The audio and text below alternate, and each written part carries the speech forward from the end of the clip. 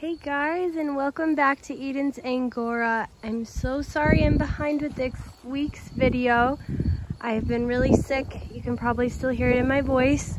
But I spent a lot of time catching up on the rabbitry today. So I wanted to give you an update of the rabbits that we have and what it looks like, kind of how we have it set up.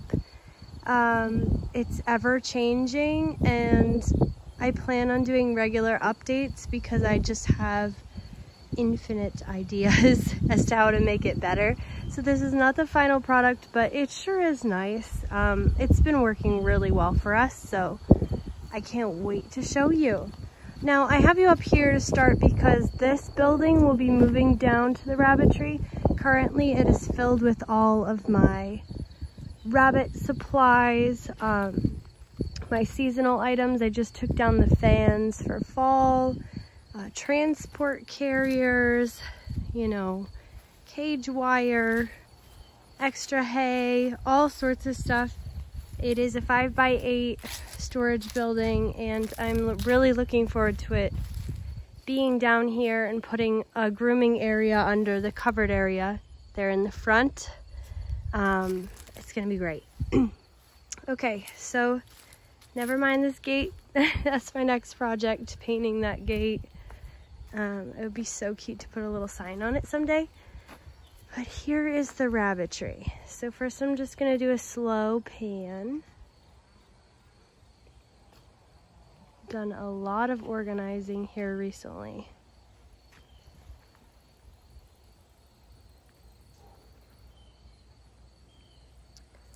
Okay. I'll show you some of the recent updates we'll talk about some of the things that I'd like to update to you probably. Um, for biosecurity reasons, now we don't have any other animals allowed to get into here except for the cats, which is great. Um, doing a ton of preventative health stuff with the rabbits now too, which I'll talk about in another video, and just being really careful with them. This is the start of our little rabbit garden. Um, it has basil, sedum, and some marigold right now.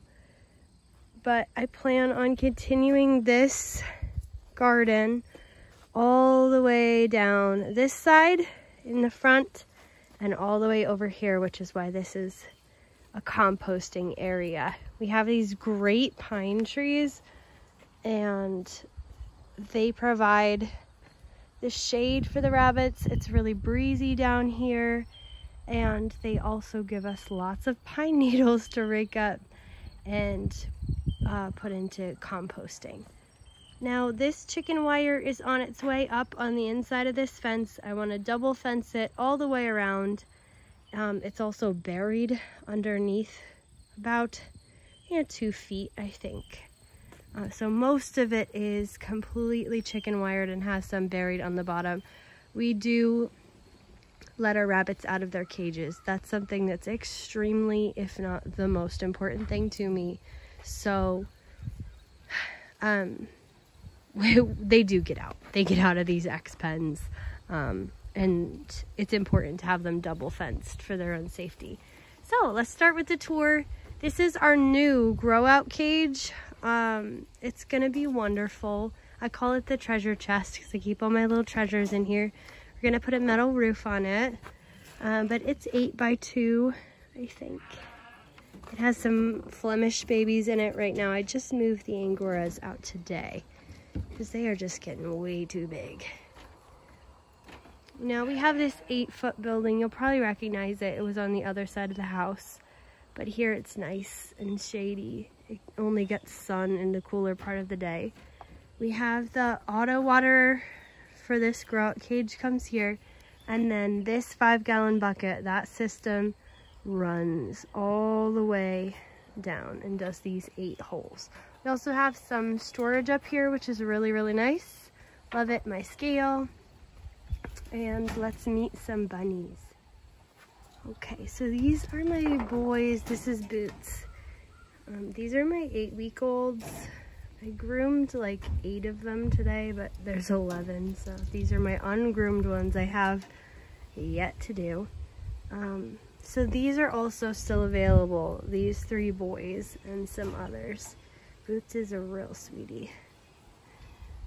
But they just started really messing up each other's fur, so they needed to be separated. Sorry. See, I am dedicated to my YouTube channel. um, these are some more bucks. There are two blue-eyed white. One is Eden's Archangel right there. He's staying. Um, no, that's Archangel. That is Ace. And Ace is sold, and that little guy is too. Just so you know, don't get your heart set on them. Um, these are some of our Californians, Luna and Mac. And then down here, we have Blossom in the back and one more little sweetie. She looks just like her grandma Diamond. I know, this is supposed to be a rabbitry tour, not showing you every rabbit I have. I'm gonna speed it up. There's Sky.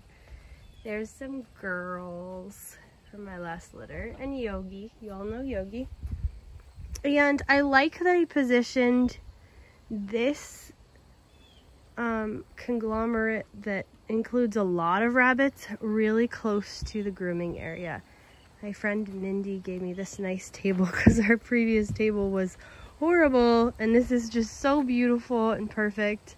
So I love, um, I have electric running down to here and then I can just pick up my blower, put that on the table and start carting rabbits back and forth really easily.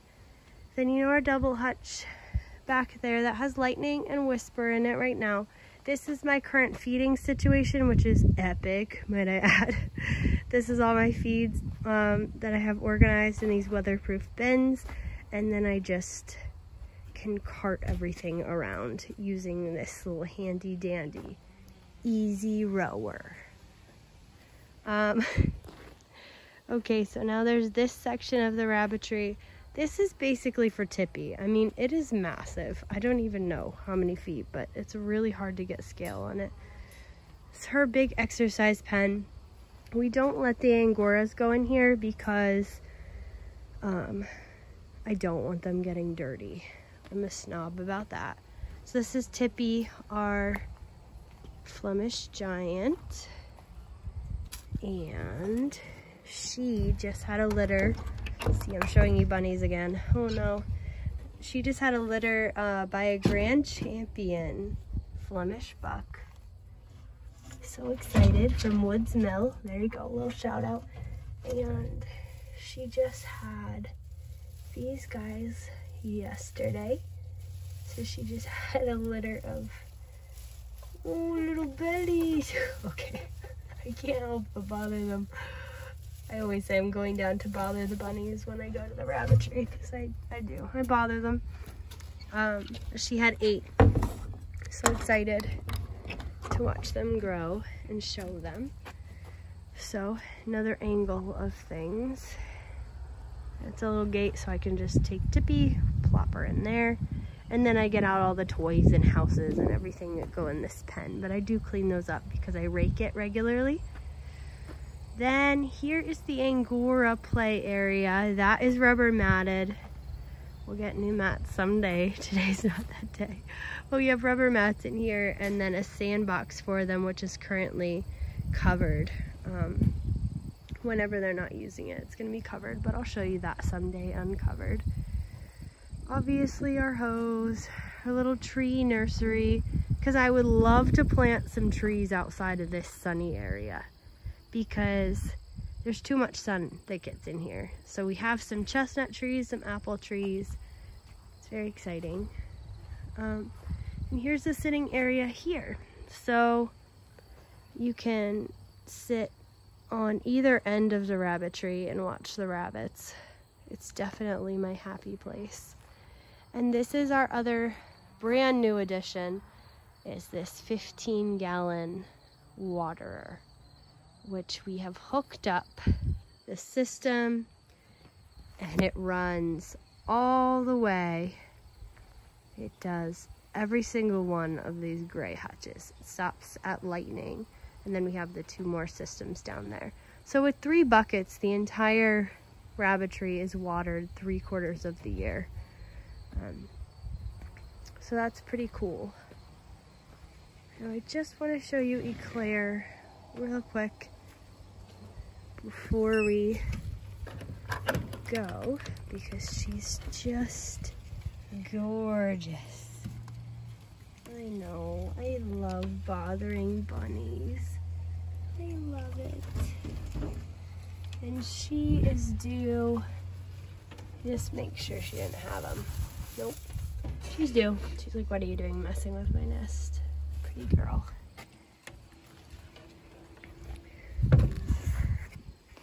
Due like now. So that's pretty exciting. All right, so let's just sit down here for a minute. So our new additions are the, the watering system here, which has made our life so much easier. And I recently figured out the rubber mat thing, which I think is really cool. Also, all of our rabbits are now in one place, which I love. We don't have them separated, but it does make preventative measures a lot more important. We definitely need to keep a handle on things because if somebody gets wool mites or somebody gets worms or um, sick, then it can easily spread in a situation like this, and I would consider that a downside. Um, but it's okay because it's nice and convenient and very, very safe. And Rose, our rabbit guardian, is right there protecting the, the field side. So there's not any predators that are gonna get in here. We also encourage the cats to be in the rabbitry. I feed them in here now um, to discourage mice and rats because again, they can actually mess with your rabbits. I have had them take chunks out of my rabbits' ears, my baby rabbits. Um, so, and actually a few lops. It wasn't just babies. Um, yeah, so that was not fun times, but we're definitely learning. I'm three years into this rabbitry. I did breed rabbits as a teenager from 14 to 17 too. But I'm learning so much more this time around. And it's really been great. My recent um, exploration has been how many Angoras can I have without being overwhelmed? I just love bunnies. So I ended up getting a few more breeds that I could show. Um, because I can only keep up with so many Angoras, but I always have to hit my limit periodically and then scale back uh, so that I'm sure that I'm I'm having as many Angoras as I can have, especially really trying to focus on my yarn business in the coming two years. I have a two year plan with that. So since I finally achieved my goal after three years of having blue eye whites at the rabbitry, um, they're gonna be a big part of things. So I, I am gonna keep Archangel back as um, he's Sky's son and he's gonna be Sky's um, I don't want to say replacement, but I'm no longer going to breed Sky. I don't think. Since I want to focus on improving the body type of the breed, and Archangel has amazing body type. Like, really, I'm really proud of him. So, he's going to be the new big boy on campus. And then I'm keeping back um, his two sisters both of these does are gonna stay so that we have white wool again.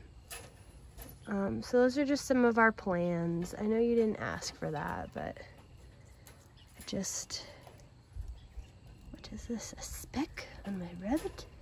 Um, yeah, like to keep you guys up to date on what's going on here. That's pretty fun.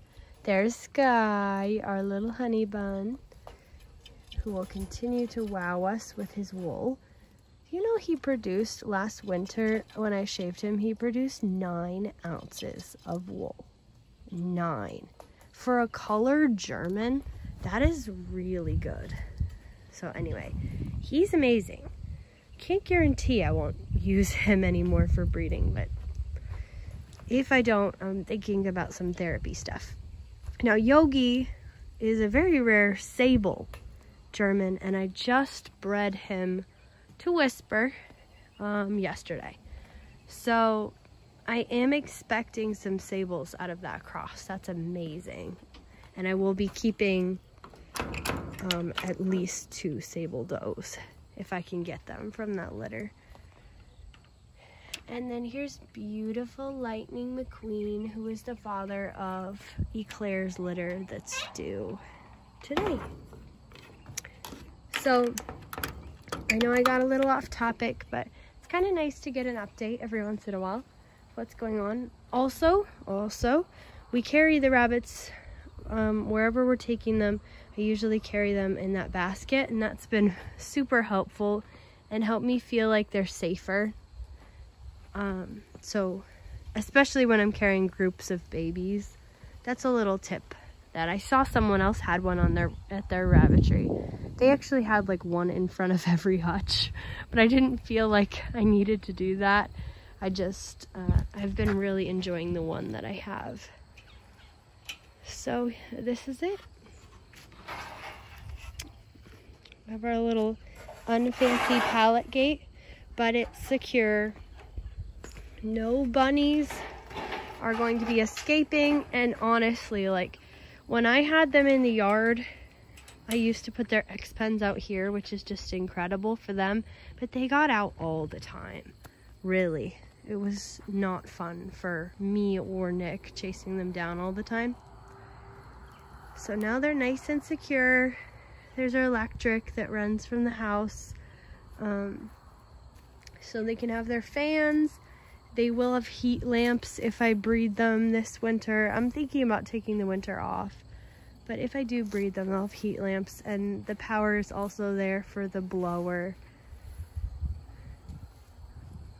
But that's that's what's going on. So drop any questions uh, that you have in the comment section below and please like this video if you liked it and subscribe if you want to see more of what we get up to here at Eden's Angora. Thank you guys so much. I'll see you later. Bye.